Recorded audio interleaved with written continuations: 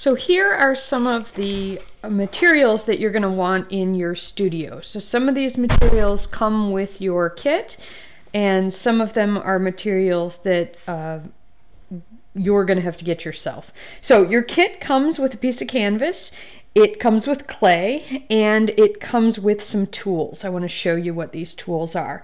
You're going to have a couple of brushes eventually. Um, these may not come in right away, but you're going to have a small brush for clay, for slip, and you're going to have a larger brush for glazing. Um, yours won't look like this. It'll have a big head like this, but it'll be it'd be a fatter handle. That will, you won't need right away.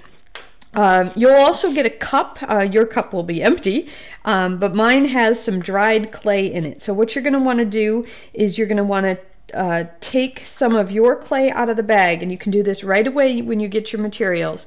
You're going to want to take your clay out of the bag and put uh, break it into some small pieces, um, maybe half the size of this, uh, so maybe an, half an inch by half an inch or so, and you can make yourself maybe five of those. Set them in the cup, set them aside. What we want to do is we want to have the clay dry out. Later on, we're going to put water in it. It'll slake, and that'll be our slip, but I'll tell you about that later.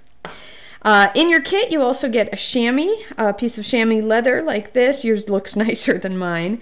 Uh, metal rib that is smooth on the surface. This is different than the metal rib you're going to get um, that you're going to get uh, that has a serrated edge. This one's in the bookstore. This one's in your kit. You'll also get a carving tool. Yours looks yours is a different type than mine, but it has a little blade and it has a little curved part on the one end. You'll get a wooden knife a wooden rib. We're going to use this for paddling. Um, and I might give you a loop tool. I uh, haven't decided on that one yet. That's what comes in your kit, as well as some plastic. Uh, big plastic sheet is not trash. Uh, that's in there on purpose. Uh, it's very valuable in the studio, so hang on to that. Materials that you can buy at the bookstore. So you've got the serrated rib. Um, this is a nice tool for scoring. We're going to scratch the surface of the clay. It's also a nice tool for shaping, which is why I recommend it. Um, you can get other kinds of scoring tools, so a fine-toothed comb. Um, this is a pin tool. Both of these are from Xiem tools, um, but they're kind of expensive at Xiem. Uh, but you can make a similar thing by just uh, uh, taping a bunch of pins together. Uh, it'll be uh, more fragile than this one, but it'll work. Um, and this one's another tool um, that you sometimes get in kits.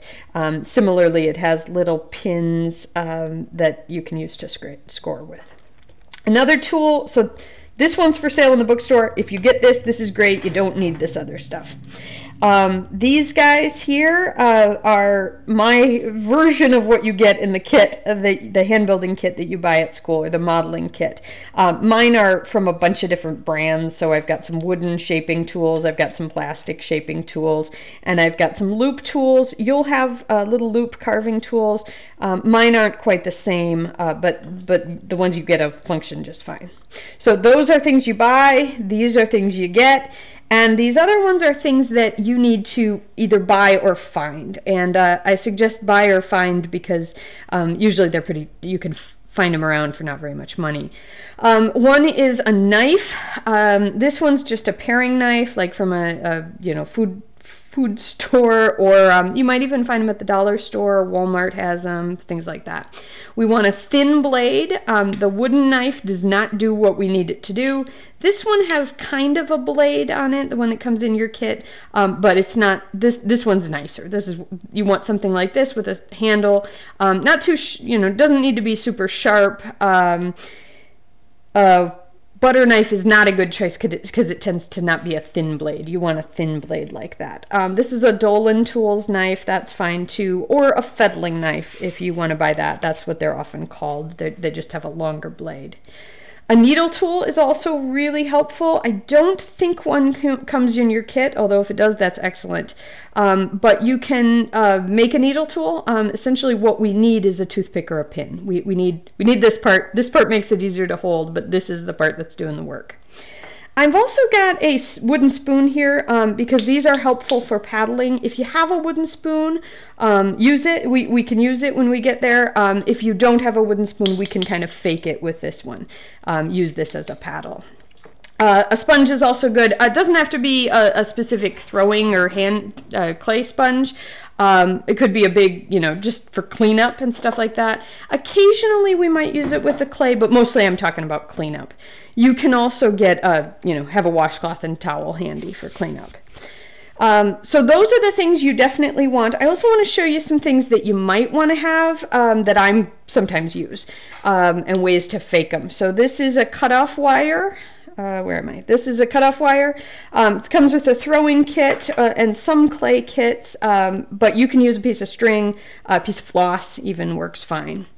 Um, this hand building kit that you're going to buy in the bookstore, if you don't buy it in the bookstore, if you buy it on Amazon or something, there are sometimes lots of other kits, uh, lots of variations. This one's not, the one at the bookstore is not too expensive, but if you want to go crazy, there are all sorts of tools um, that are wood, plastic, uh, these kind of dental pick tools that I have here.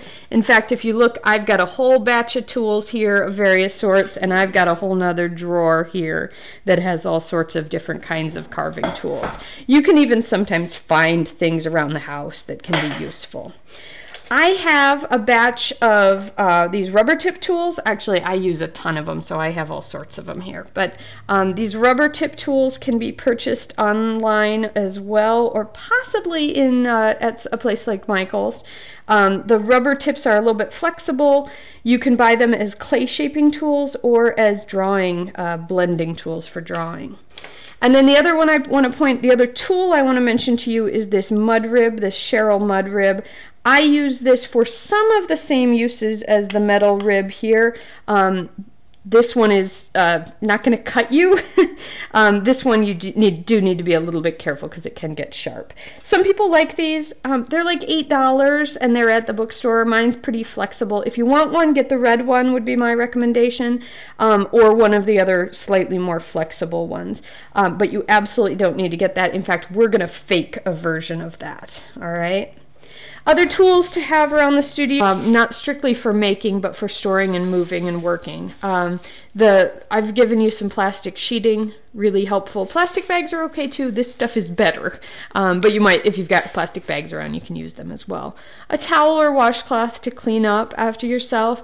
Clay that dries in the studio becomes uh, dust if we leave it on surfaces. And this dust, if we brush it, if we wipe it, it kicks up into the air. In fact, that happens a bit when I do this. Um, that's bad for us. It's not a good idea for us to be breathing that in. Pets, animals, kids, us.